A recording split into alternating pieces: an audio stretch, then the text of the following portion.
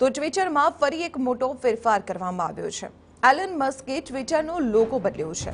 Allan Maske વાદળી પંખીને હટાવીને ડોગીને બનાવ્યો છે નવો લોગો આ જોઈને શરૂઆતમાં લોકોને લાગ્યું કે ટ્વિટરને કોઈએ હેક કર્યું હોઈ શકે છે પરંતુ ગણતરીના કલાકોમાં જ એલન મસ્કે ટ્વીટ કરીને લોગો બદલાયો હોવાની સત્તાવાર જાહેરાત પણ કરી દીધી એલન મસ્કે રાત્રે બાર કલાક અને વીસ મિનિટે એક ફોટો ટ્વીટ કર્યો જેમાં ડ્રાઇવિંગ સીટ પર બેઠેલો એક ડોગી ટ્રાફિક પોલીસે લાયસન્સ બતાવે છે જેમાં વાદળી પંખીની તસવીર પણ હોય છે જે બાદ ડોગી ટ્રાફિક પોલીસે કહે છે કે તે જૂની તસવીર છે એલન મસ્કે ડોગીને લઈ થોડા સમય પહેલા સંકેત આપ્યા હતા જેમાં સીઈઓની ખુરશી પર એક ડોગીની ઇમેજ દર્શાવાઈ હતી અને લખ્યું કે ટ્વિટરના નવા સીઈઓ કમાલના છે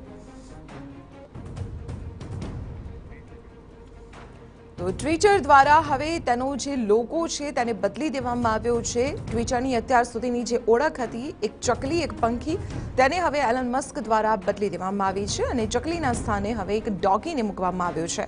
બાર વાગ્યા બાદ આ ચેન્જ કરવામાં આવ્યું હતું જોકે શરૂઆતમાં લોકોને લાગ્યું કે ટ્વિટર હેક થયું હશે પરંતુ ત્યારબાદ થોડીક જ વારમાં એલન મસ્ક દ્વારા આ ટ્વીટ કરવામાં આવ્યું એક ઇમેજ સાથે કે જેમાં કારમાં બેઠેલો ડોગી ટ્રાફિક પોલીસ અધિકારીને પોતાનું લાયસન્સ બતાવે છે અને તેમાં ચકલીનો ફોટો છે અને તે એવું કહી રહ્યું છે કે આ જૂનું છે.